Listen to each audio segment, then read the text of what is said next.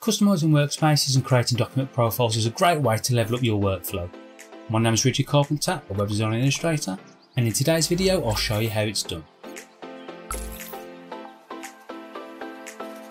Okay, so if you're an avid user of Adobe Illustrator, you might be a bit overwhelmed and confused on all the tools and panels which are normally open by default. The first thing I tend to do with any Adobe related application is create a custom workspace. This enables me to quickly find and use the tools I use most. There are some preset workspaces you can switch between. And the way you access these are via the menu by going to Window and Workspace or by using the drop down menu in the top right corner. As you can see there are a number of different ones you can choose between from painting to typography. But we don't want to use any of these, we want to create our own. So to do this, simply select one of the presets to use as a base. I find the Essentials Classic Workspace works best. So once you've selected the preset, we can begin to open and close the panels we do and do not need.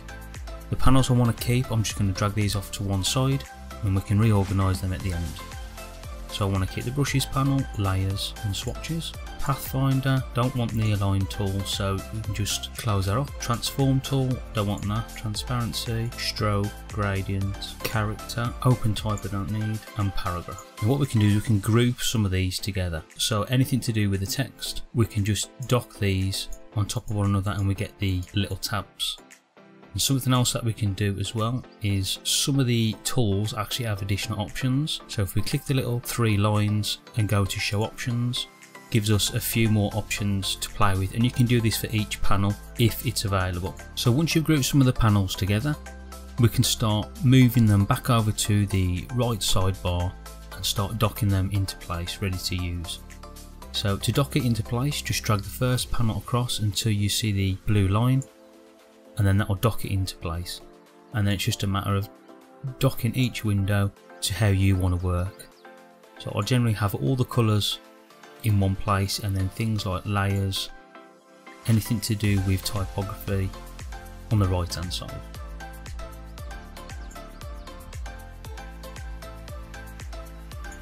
So once you've docked all the panels into place, we can now start enabling some of the other panels which aren't currently open.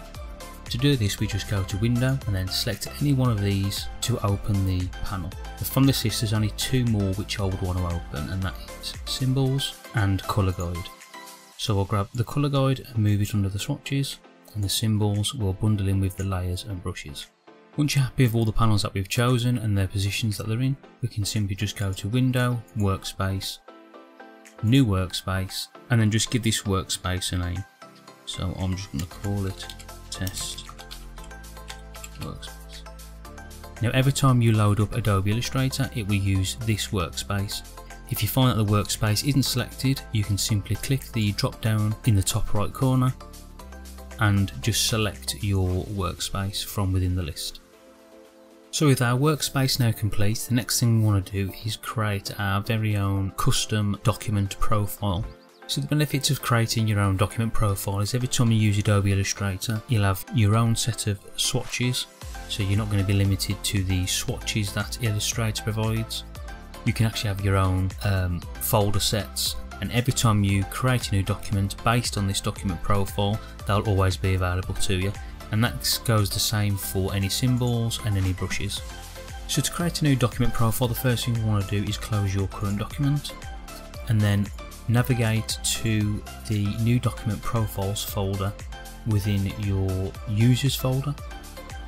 So the path for Windows will be users, your username, app data, roaming, Adobe, Adobe Illustrator 23 settings and depending on what version you have the number 23 it might be 22 or 21 depending on how old or new your version of Illustrator is. ENGB, times 64 and then new document profiles. I'll put the Mac equivalent folder path in the description below. So once you've navigated to the folder, as you can see there's already some document profiles within there, so these are the default current Illustrator document profiles.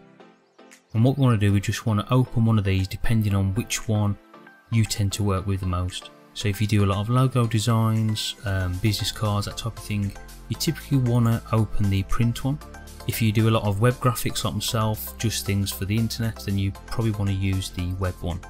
So once you've made that decision, just open whichever one is applicable to yourself. So once the document's open, what we want to do is first select all our swatches. So if you select the little three lines and open the menu, you can go to select all unused and then just hit the delete swatch icon at the bottom and this will remove all the swatches and you can remove the black and white as well.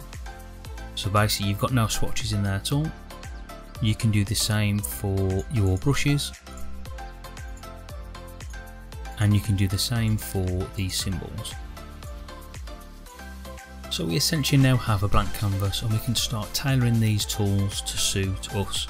So we can choose the swatches that we use the most, the symbols that we can constantly reuse and obviously the brushes that we are constantly reusing.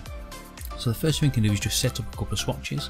So using the rectangle tool, just create a square and then just fill the square with one of the colours that you constantly use or it might be that you already have a set of colours which you can just copy and paste into Illustrator.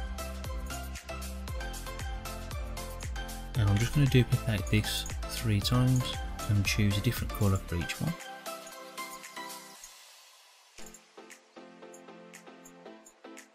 So once you have your colours, make a selection around all of them and then just press the new colour group icon at the bottom of the swatches panel and then we can name this colour group if we want to so we'll just call this. And we can make sure that the convert process to global is ticked and that will ensure that all these colours are global colours. So if you press OK remove the squares and you can see we've got these colour swatches within our swatches panel we can also do the same with our brushes and symbols. So with the symbols, you might have your logo as a vector or a particular set of icons that you're constantly using like social media icons. So if you just copy and paste them to the artboard and then simply drag the shape into the symbols panel, give the symbol a name, change the export type to a graphic and we want to keep this as a static symbol and then just press OK. Remove the icon from the artboard and then as you can see we can reuse this symbol in any of our future projects. So once you've added all the symbols, you've set up your brushes, you've set up all your swatches, the next thing we want to do is go to File, Save As, and within that new document profiles folder, you want to rename the file to, I'll just put test and then press save. You can leave all these options as default and just press OK. And if we close our current document, go to create new. So within the presets at the top, depending on which one you started with, so if you started with the print one, your document profile will sit within the print one we use the web one so if I clicked web and scroll to the bottom you can see there's our test profile.